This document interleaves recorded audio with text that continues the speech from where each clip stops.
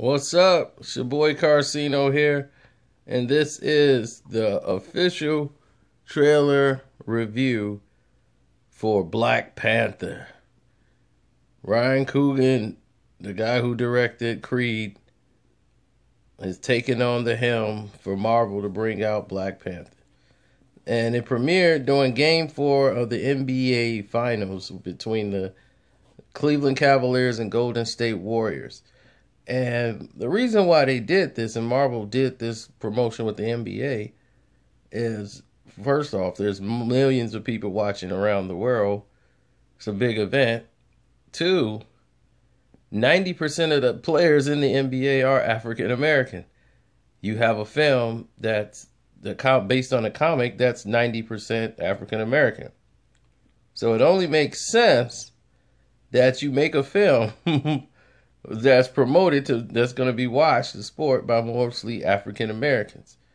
So now Black Panther, uh, story of a king of Africa, a town called a country called Wakanda.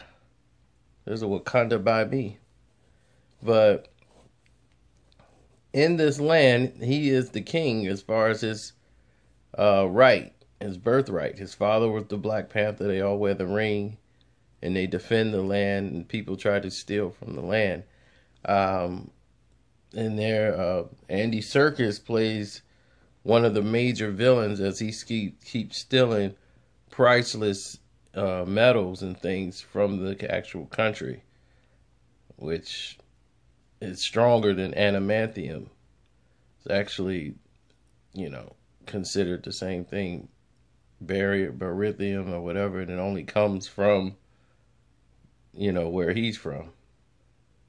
Wakanda in Africa. It's the only place that that metal comes from. And he's one of the guy who goes and, you know, assesses this metal. But let's look at the trailer. Well, the scene starts off with Andy Serkis, whose arm is still missing, as you remember in Ultron. Ultron cuts his arm off and this takes place after that scene and he's being interrogated by the FBI agent. And as we see here that's Chadwick Boseman who plays the Black Panther who has an all-women security force to protect him.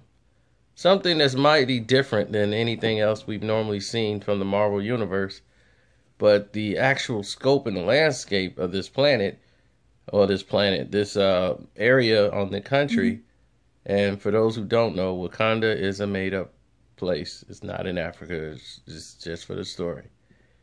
But the way they make it look like a, a totally different world, and they do pay the poster pays homage to the uh, Huey Newton picture pose for the Black Panthers. So I thought that was pretty interesting that they did that. And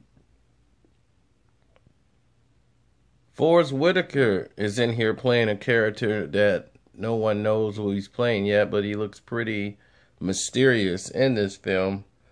Um, looks like a fortune teller of some sort, but we'll find out more as you know it gets closer to, to the uh, actual event coming out as you can see, and with Black Panther, politics and diplomatic issues are at the forefront for his country as far as protecting it from intruders. It's part of the Black Panther, but also when he takes the mask off, he's uh, T'Challa, the um, actual leader of the continent, of the country.